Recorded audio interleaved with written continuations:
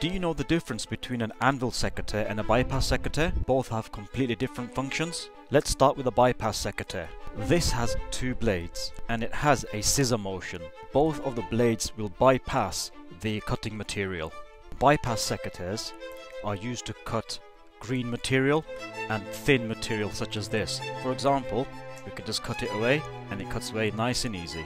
Anvil secateurs has one blade compared to the bypass secateurs. The main difference is, is the blade is pressed towards the base and through the cutting material. Think of the base as a chopping board.